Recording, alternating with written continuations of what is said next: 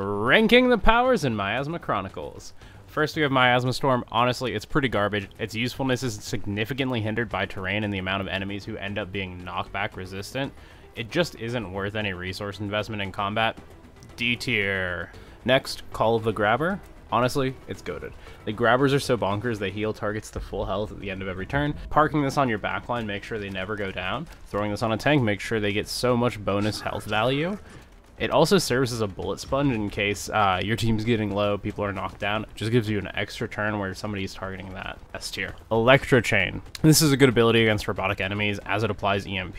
Being able to chain EMP up to three enemies for two turns is really, really strong, especially later in the game when the number of robotic enemies increases significantly. Unfortunately, outside of uh, robotic enemies, though, it's basically useless. For the limited use case while still being strong, B tier. Miasma Blast. Decent power, too short range to be useful on characters that you can give it to. C tier. Mindworm. Plus one character for you, minus one for enemies. This is very strong, especially if you can get it on a high value target. This rivals Grabber as the best ability in the game as it gives you a net of plus two versus the static net plus one for the Grabber. S tier. Endoskeleton.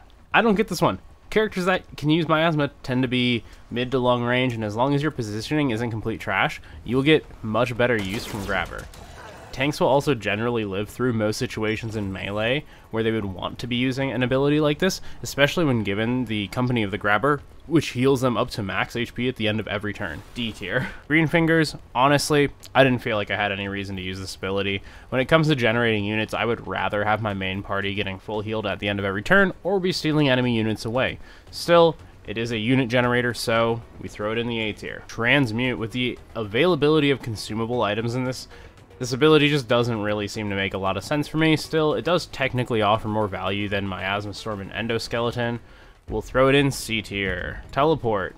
I think a lot of what this ability does should be tackled by positioning better, but it is fun and can have a good use every once in a while. C tier. That's my video.